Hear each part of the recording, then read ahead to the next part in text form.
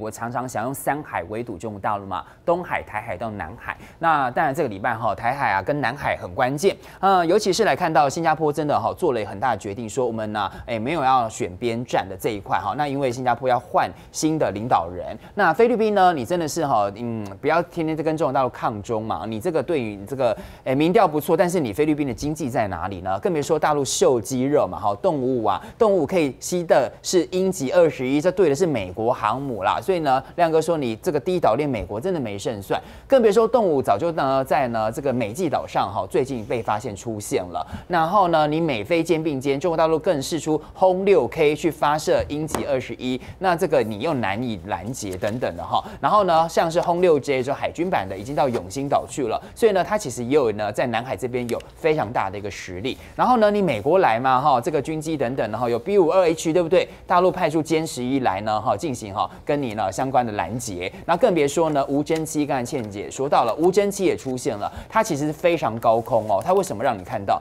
就是告诉你我来了，我在这儿，我在这，它是不会让你看到了，但是它却让你看到了，大使。然后还有包括最近的福建舰也成功还是回来了。对大陆现在面临这个情势哈，基本上大概就是用亮剑的方式，用实力 来进行贺阻嘛。那对美国来讲，美国事实上他也很清楚中国大陆的实力，可是美国这些作为的话，其实他并不是要直接跟中国这直接要跟中国大陆的解放军冲突，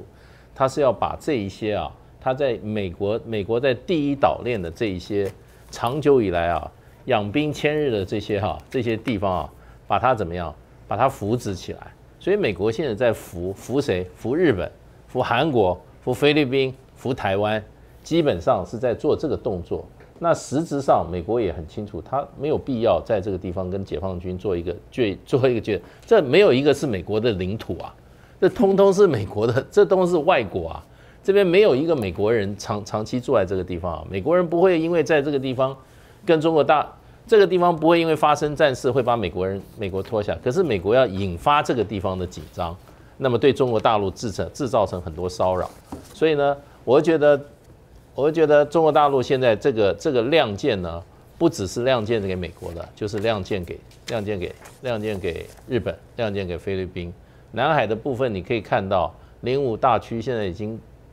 我看很多报已经停在这个美济岛了。美济岛本来它就是内部就是一个很大的泻湖，对啊，是一个天然良港，它的可以可以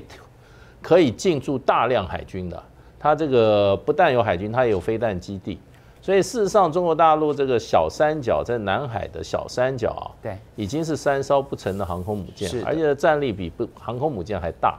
那尤其美济岛为什么要进驻呢？美济岛旁边的这个仁爱礁就只只有十九、十九、十九海里啊，非常近啊，所以绝对不可能让菲律宾在这个仁爱礁上有任何永久性的建筑的。这个是这个是这个对对美济岛来讲的话是很大的威胁。所以现在我觉得就是说，不断的中国大陆就升高它的军事上的这个哈对抗的态势嘛，然后亮剑亮得很厉害。那我是觉得它会产产，它一定会产生威胁威威慑作用。那在这里面，我觉得就是说，黄群才最近接受几次访问，倒是啊讲得非常清楚。对啊，对黄群才第一个，美国已经不是独大了，这个这句话对美国伤得蛮重的，蛮重，因为美国觉得我还是要独大，而且菲他说这个这个东协国家不会选边站，对。也绝对不会以中国为敌啊！所以你可以看到中国大陆好事不断啊。美国呢，哈，你看艾森豪号终于回到了红海，部署了两百多天，然后福建舰哈，哎，圆满成功八天的海试啊，然后看到呢，它的那高速急转弯非常的棒。然后呢，另外再来看到它也带红了好多舰，这三艘舰就是这个海军的流量密码了哈。包括福建舰，还有呢，他去帮他护航的时候，东海舰队因为没有航母嘛，他也很想看看呐，哈，也没有动物，就他派出了是杭州舰进行护航，他就红了。另外再来看，它出海的时候，这个后面那个地方船坞被发现说庞大身影呐，水栖两呃水陆两用两栖突击舰，就是呢零七六零七六，它厉害了哈，因为它是准航母了哈，它可以放什么呢？歼三十五、歼十五 T、空警六百跟攻击十一无人机。对，尤其是我认为，在如果是在中国大陆的周边海域作战的话，其实你不一定要有十万级的十万吨的那个航母，零七六这一种五万吨左右，五到六万吨左右的是超级的呃具有呃机动性啊，包含了它现在的设计里面呢，符合我们现在叫做战场态势。就是我们现在打的战争的形态跟以前不一样。你看，他把无人机啊，他把这个比较高高阶的，像歼三十五跟无人机都可以混合在一起。那么这样这样的东西，我们在呃军迷来说真的是非常兴奋的，因为他们一边可以看到那种庞然大物。嗯萌虫巨舰一毛轻的那个大的航母，而且它现在整个海事非常的顺利。当然，有些外国的媒体就很酸的说：“哎呀，上面没有那个舰载机。”那是太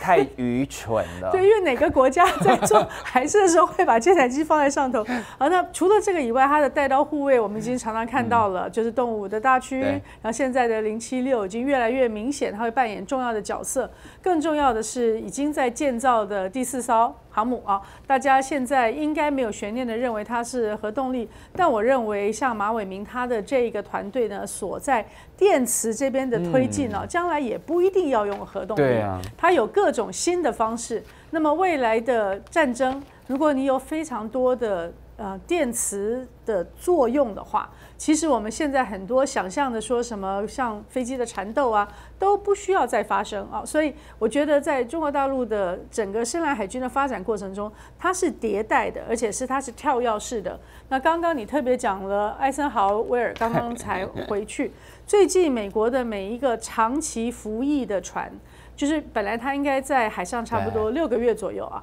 他长期服役的船呢，他在返港之后。会发生两个问题，一个是人员的整补，另外一个就是它整个的维修的时间拉得非常非常的长。对，那么当然是因为你在海上的时间多了，你原来所预计的那些维修呢，有更多的项目。当它本来就有非常大的 clock，就是有阻塞，整个在那个回去的塞港的情况之下，如果每一艘船回去的时间都更长的话，那你在海上。可以真正投射的军力呢，就会越来越有限。嗯，这个是美国现在已经长期没有造舰的一个困境。那个这个困境不是那么容易把它补起来。所以真正的要在海上对决的话，我认为美军需要补的功课真的是太多。那现在刚刚讲的五二零啊，我们就是真是希望在我们附近不会有任何的风吹草动，不会有哪一个国家认为他需要去挑起这个战争，使得台湾有事。嗯，对。所以倩姐刚才讲到哈造舰的这一块，亮哥怎么看啊？因为呢，中国大陆哈现在造舰是很强的哈。那韩国媒体也提到说，韩国啊是有什么呢？它的造舰不太可能再跟中国大陆哈那个扳回一城，所以他也觉得说中国大陆造舰真的很强。他不是造舰啊，造船啊，对对，造船讲错了，造船哈。因为它跟军舰不太一样。对，造船。哈，然后呢，《金融时报》也说哈，美国遏制中国大陆造船业不会使得自身受益，反而会让日韩得利。不是啊，然后也会比较贵啊。不是让你去看那个 LNG 船，阿联酋全部押给中国，是，你就可以看出来了。实际上，中国大概全方位的各种舰船，它都可以自己造嘛。对，三个最难的它都会做嘛。哦，豪华客轮、LNG 船跟航母嘛，对不对啊？那是没料到零七六会这么快出现。对，啊，这个得就是准航母嘛，漂亮。好，那本身又有一些灵活的使用方法。嗯，啊，而且听说零七六也不只要做一艘，一定不会一艘的。哦，这个事实上，这个两栖攻击舰到最后一定会结合登陆舰一起发生作用。太阳星全效克菲尔益生菌，我吃了两三天，最明显的感觉是睡眠品质竟然变好了。睡得好，让我整个人工作更专注，心情也变得更稳定更好。因为太阳星全效克菲尔益生菌，才让我认识到克菲尔益生菌，它是由多支菌种的益生菌所组合而成，不仅能够维护消化道机能正常运作，还拥有多种有益健康的保健功能，相当强大。你知道吗？有台大教授专门研究它，称它是神仙的礼物。上千篇的国际研究证实，克菲尔益生菌不仅帮助肠道健康，肠道菌透过肠脑轴影响全身器官，所以维持肠道菌丛的平衡是解锁身体健康、精神健康的钥匙。对帮助睡眠、维持好情绪真的很有感。也因为这不是药，有季节敏感、代谢困扰。关心恶性细胞风险的好朋友，选择太阳星全效克菲尔益生菌，做好日常的保养，身体健康没负担。每日克菲尔，时刻美好，Good feel feel good，请上快点购健康下单，输入推荐代码有额外的折扣。